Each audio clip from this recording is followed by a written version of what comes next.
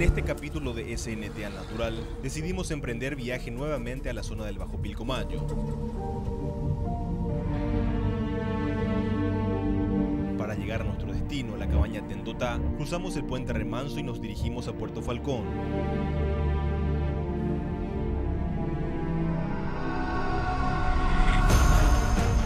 Tomamos la ruta 12, que atraviesa el departamento de Presidente Ayes en dirección noroeste, en paralelo con el río Pilcomayo.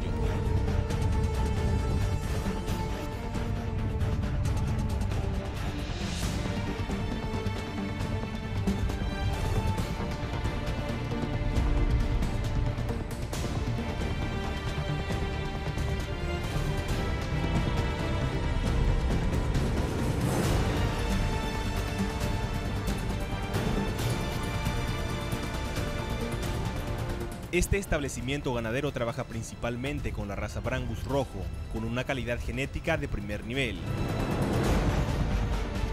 Ubicada en las adyacencias del río Pilcomayo, la estancia se encuentra entre sabanas de palmares y bosques en galería, donde la vida silvestre se encuentra protegida por los propietarios, quienes están abriendo sus puertas para la actividad del turismo de naturaleza.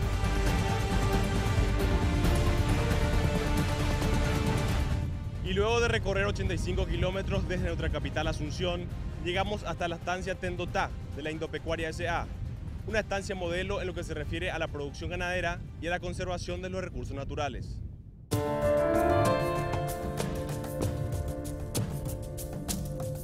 Ni bien llegamos al casco principal, somos recibidos por los peones, quienes sin perder tiempo se organizan para conducirnos al río Pilcomayo, que pretendemos navegar en kayak para explorar sus zonas desconocidas. En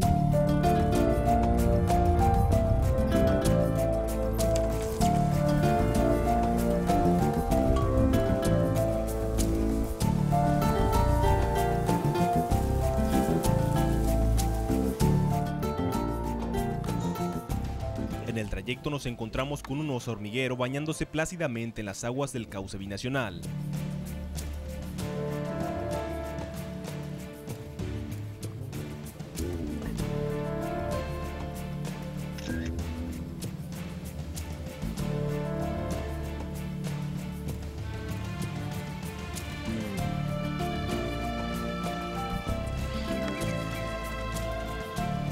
Su vez, un par de armadillos disputan territorio ante nuestras cámaras.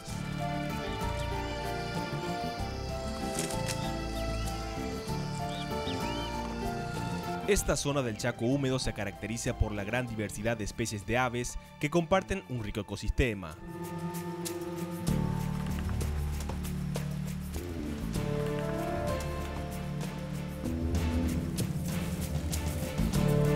Luego de recorrer unos 4 kilómetros por tierra, llegamos al río y la aventura se inicia desde el momento en que bajamos nuestra embarcación.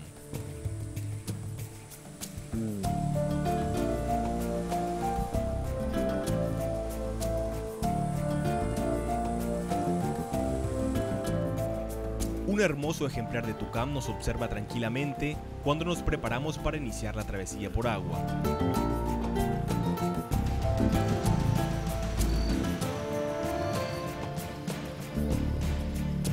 El ecosistema en el que está situado la cabaña Tendotá brinda un ambiente propicio para la proliferación de una importante cantidad de aves de diversas especies, las cuales se hicieron presentes durante nuestra travesía por los sinuosos canales del Pilcomayo.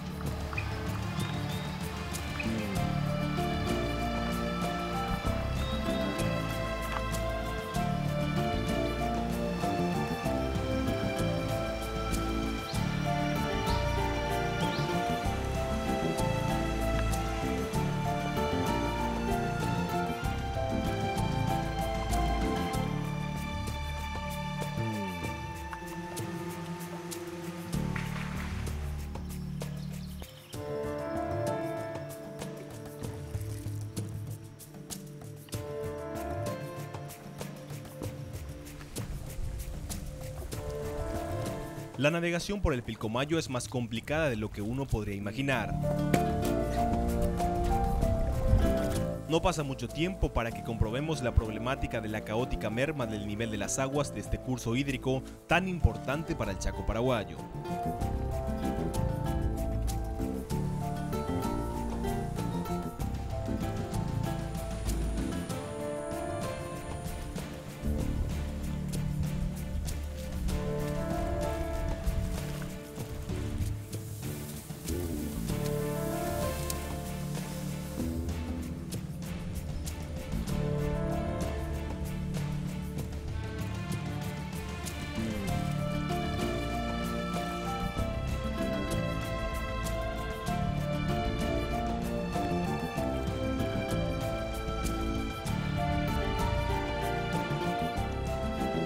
Luego de cuatro horas de recorrido, nos esperan en un punto estratégico para conocer el refugio Moncholo.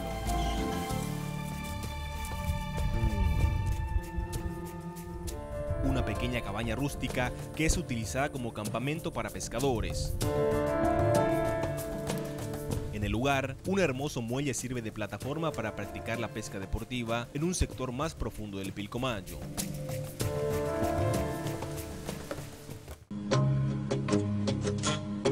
Con la puesta del sol, nos predisponemos a sacar provecho de la oscuridad para salir en búsqueda de la fauna de hábitos nocturnos que abunda en esta región chaqueña.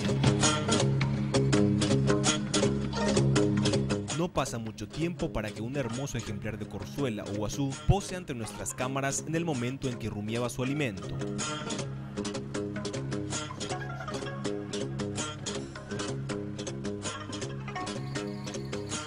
Tarde, un curioso ejemplar de aguaraí se aproximó a nuestra posición para darnos la oportunidad de captarlo con nuestra lente.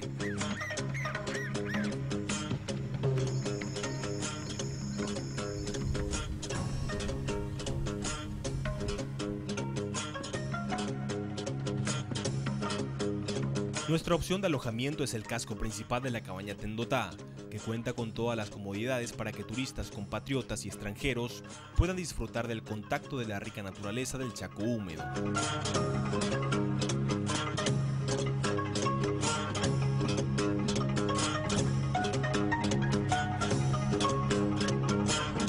Modelos como la cabaña Tendotá y su sistema de trabajo, que armoniza la excelencia de la producción pecuaria y a la vez el absoluto respeto de la conservación de la fauna y la flora, deberían ser emulados por otros ganaderos, pues demuestran que la actividad económica y la conservación del ecosistema pueden redituar importantes beneficios tanto financieros como medioambientales.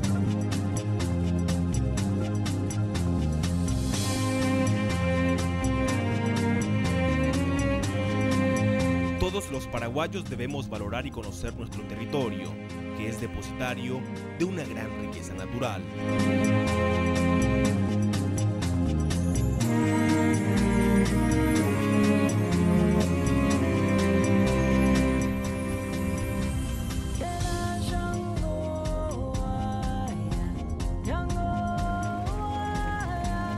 Desde la estancia Tendotá, esto ha sido todo por hoy. Esperemos que les haya gustado. Y recuerden, aún hay más por conocer en Paraguay.